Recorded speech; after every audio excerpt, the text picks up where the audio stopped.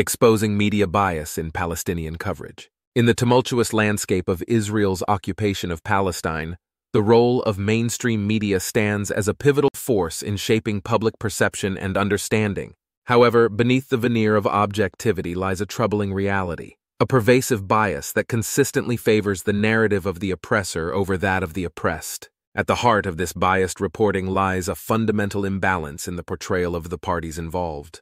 While Israel, with its well-equipped military and unwavering support from global powers, occupies a position of unparalleled power, it is often cast as the victim in mainstream media narratives. Meanwhile, the Palestinians who endure the daily hardships of occupation, displacement, and dispossession are relegated to the role of aggressors or terrorists.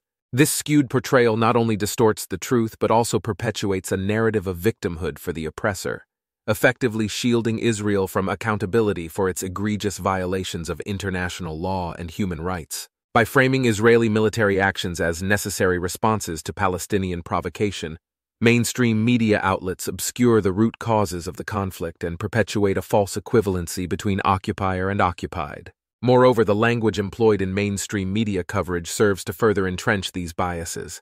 Terms like clashes or conflict are used to describe Israeli military incursions into Palestinian territories, sanitizing the violence perpetrated by the occupying force and erasing the asymmetry of power between the two sides. This linguistic sleight of hand effectively absolves Israel of responsibility for its actions and portrays the situation as a mere dispute between equals. Furthermore, the historical context of the conflict is often neglected or downplayed in mainstream media reports, denying audiences the critical understanding necessary to grasp the root causes of Palestinian resistance.